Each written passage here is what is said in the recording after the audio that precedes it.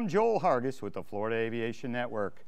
We are here at Sun and Fun 2022, the 48th annual show. And it's, it's been a great time this week. I tell you what, I'm, I want to get right to it. I am really excited to be sitting with this group of people from one of my favorite places on the planet, the Bahamas. Hey, Joel. hey. Guys, thanks for coming. Uh, let's just start off because we got quite a dais with us here, a, a very impressive folks from over there. And let's just start one by one just to introduce yourselves, if you would, please. My name is Latia Duncombe, Acting Director General with the Bahamas Ministry of Tourism, Investments, and Aviation. My name is Randy, Senator Randy Rolle, uh, Global Relations uh, Consultant with the Ministry of Tourism. Good morning. My name is Chevonia McBride, Senior Project Manager and Investment Supervisor at the Ministry for Grand Bahama, representing the Minister of Grand Bahama, the Honorable Ginger Moxey.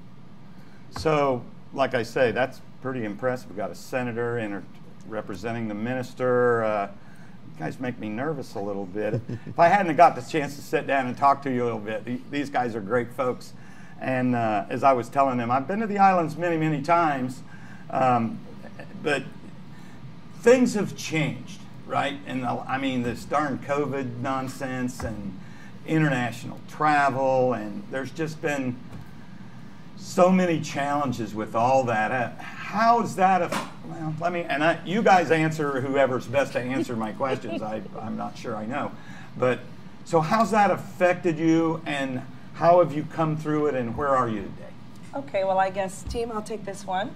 If we look at COVID, you know, it came and general aviation, the skies were cleared, every, everything stopped. It stopped worldwide. But what we did in the Bahamas, we used it as an opportunity to pivot, to showcase the Bahamas virtually. Ah. And so our content was already created.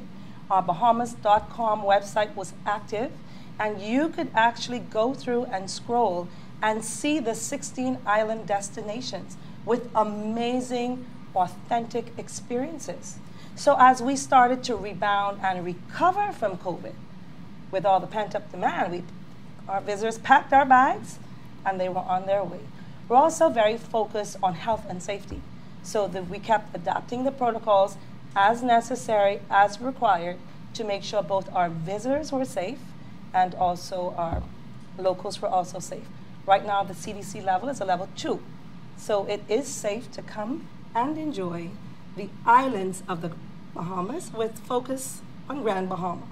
And so, how tight are your mask rules these days, and um, what would visitors expect to, to, to adhere to? I mean, do they have to be vaccinated? Do they have to wear a mask? I mean, that, those are the questions I would be asking. Not a problem.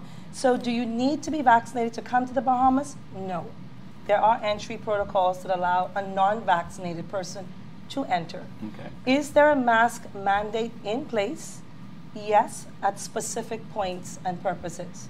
For example, if you're staying at the hotel resort, you do not have to wear a mask as a visitor. If you're on the outside on the beach, you do not have to wear the mask. But when you go beyond the resort, then yes, we'd like for you to put on the mask. Okay. So we keep you safe in all spaces. Well, and, and that's understandable. And mm-hmm. most people are at a resort or the beach. I exactly. Mean, all right? That's, mm-hmm. that's where you are. So, so the message is you're open for business. Absolutely, positively, and, we're open for business. And my bet is there was a bunch of pent up demand, right? There was. There certainly was. Busy, busy right now. Extremely busy, but you know, in, in, when we look at being busy and when we look at getting to the destination, I'm going to have my senator on the side of me speak to her a bit more about what we're doing about our airports because this is a private airline show and we want to make sure that everyone is comfortable and know some of the things that we're doing at the destination as it relates to our airports. Senator? Thank you very much, Director General. Now, for a lot of persons, and you talked about being locked down and the pandemic. Uh, what we've realized and discovered is that the pandemic has also allowed a lot of people to save monies. And mm-hmm. so what we want to do is we want now that money that you've saved over the period, now come and spend it in the Bahamas. uh, certainly for many visitors, our logistics is super important. Sure. And so the logistics of getting to the islands are, are very, very easy. Certainly, we're focusing on Grand Bahama, which is, uh, I think, two nautical miles closer than that of going to West Palm Beach. And so, And, you know, and, it's and Senator, just for Sure. people that Caribbean geography may not be really good, Mm-hmm. which island, what what cities would be on Grand Bahama for those who may not know? So, you know, I know, but I don't know that they know. Okay, well, well, again, Grand Bahama, there, it's a city. Grand Bahama, Freeport. Freeport, Freeport. So Freeport is the main city. is the main city. We don't use Freeport as much, but Grand Bahama, because again, it's uh, it's so much the logistics for it because it's ship. It's good for shipping, uh, logistics wise. Uh, but the airport is, like I said, close. We've been doing some work there. We've just uh, recently put out an RFP, and so we're making it into a world class airport. And so it's easy to get to, it's convenient. Uh, we uh, have been attracting a lot of international airlines. And so we're going to do what it takes to make sure that, again, the logistics is good and, and you're comfortable uh, once you get there. And you can you can fly regular commercial airlines into there as well as general aviation aircraft, right? Fly right in. Correct. Correct. And so, I, like I say, I'm familiar with Grand Bahama. I, we used to go into West End on a liveaboard dive boat and dove all the way. There's some blue holes off of there. It's pretty nice. Um, so, yeah. So, and and the airport. So, um, I think it's probably you to speak to flying into the Bahamas. What kind of documentation would a pilot and passengers need to um, Well, again, like I said, it's so convenient, and, and that's one of the reasons why we have our team here today at the show. And so, if you're gonna, uh, if anyone is available and you pass by our booths, we have a number of friendly staff members that will be able to lay out the entire plan for you. Uh, we have the uh, information that's right there. Uh, we have a lot of persons who come on their private uh, planes. Right. And so again, too, we're about logistics. We're about convenience. We're about making it easy. And, and certainly, you're going to have that. We, we've discarded the red tape, and, and we roll out a red carpet for you. And so, you know, we And just Bahamas hospitality is awesome, folks. Most Don't let definitely. Yeah, oh, it is. It's, it's fantastic. And then, you know, and then so we have Siobhan here also, who's from the Ministry of Grand Bahama. And so once we make the logistics of getting there easy, uh, Siobhan can tell you what all you can do there and what all are are the other offerings that we have for you. Before we go there, Okay. I, I, I want to share. I mean, I flew over there about three years ago for my daughter's wedding, and we went into Exuma. Mm-hmm. And as I remember, I downloaded the paperwork off of your website, Yes. Correct. and I filled that all out. And I, I want to say I pre submitted some of that because when I remember getting there, they're like, oh, yeah, Mr. Hargis. eh, eh, eh, eh, eh," And I was through immigration and customs like that.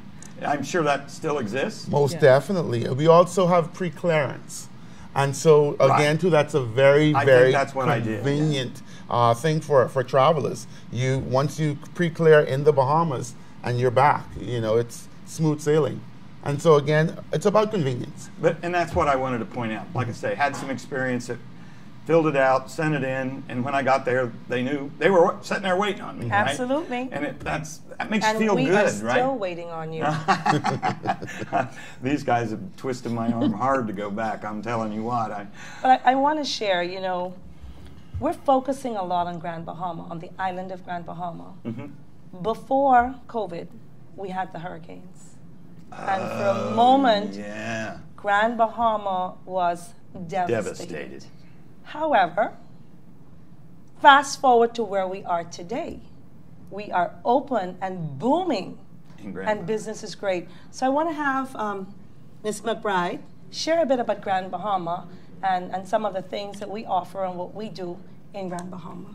Hi, good morning. So before we go there, I just wanted to piggyback off of what the actor, the acting director general said. We had to pivot um, during the pandemic, and so we made forms available online through our online portal, so that when pilots come in, they can be pre-cleared. They would know and expect you. You know, to show up at the airport. So that was one of the areas that we would have pivoted. And then to speak to what Senator had said, um, our booth is in Hangar D It's Okay. it's number 20 and 21. And so if uh, if pilots want to come and visit our booth, we have staff that's readily available. They have all the relevant information. Um, they can sign up on our iPad so we can stay in direct contact with you and help them along with the process. But to speak to Grand Bahama specifically, yes, we did go through Hurricane Dorian, and then immediately after was the pandemic, and it was devastated. But we are resilient people the Bahamas at large and Grand Bahamians because we've had a number of hurricanes back to back, specifically in Grand Bahama. And so our people are very resilient. Um, immediately the day after, you know, we just came, we just went into restoration mode, and we did have a lot of private pilots that flew in that contributed. We had organizations, nonprofit organizations, and so from day one, the airport was open our air traffic controllers and all of our operations was on the ground. And so we welcomed pilots and, and aircrafts in of course with relief items. And it, it became an, another booming industry at that time. I think that began the increase for us with the private aviation sector um, but Grand Bahama is definitely open for business. Um, we at the Ministry for Grand Bahama, we have a number of initiatives that we are putting in place, and we have a number of new tours to add to the tours that already exist. So it's definitely going to be a big cultural experience for you when you come. There's there's diving, and you would know because you've experienced it. Um, there's our cultural villages. There is fishing. Uh, there's a number of items. You can do a lot or you can do absolutely nothing at all. It just depends on what you come to Grand Bahama for. And so we are definitely open for business. We welcome you to our shores and our island. And like Director General says, two words for this trip Grand Bahama. Well, and you know what? I apologize because I, when I saw that you were promoting Grand Bahama, I had forgotten that devastating hurricane. Yes. And and now that now and, and I so I apologize because No, not a I mean it's very close to my heart. I've I've been to West End and Freeport many many times, and ah, my heart just was just sank when when that happened. So I, I will tell you on, on your behalf, gosh, I know there were so many Americans or, or people from all over the world that watched this. You know, remember back then when they needed our help. Well, and and there's only so much you can do then. But now they're open and all they need is you to come and visit. They need you to come and visit and that's why the push is.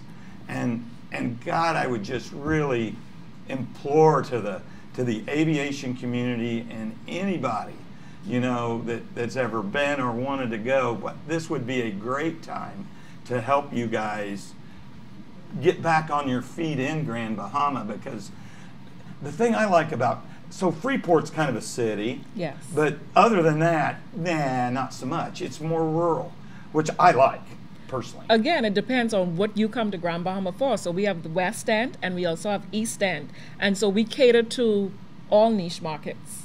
And it's, it's definitely whatever you come to the island for. You can have the actual island vibe or you can get a city vibe.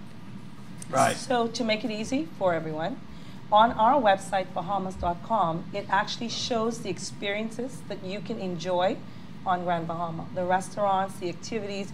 We've even taken it a step further. We can help you build your itinerary based on what you want to do, so we do that. Or we have a people to people program where we look at your profile and the pro- profile of a native, and we actually match you with a Bahamian family for that unique Bahamian experiences. No kidding. Bahamas.com, we do it all. From completing the paperwork to completing your visitor experience to enjoying our native awesome. cultural festivals, experiences. Oh, that experiences. sounds really because Absolutely. When I travel, that's what I love to do. I mean, when I travel, I like to meet the locals. Yes. And Not not the tourist stuff. The locals. And Joel, we believe in relationships. Mm-hmm. Uh, we're a country that's about building relationships, and that's why, as a country, we were able to rebuild so fast.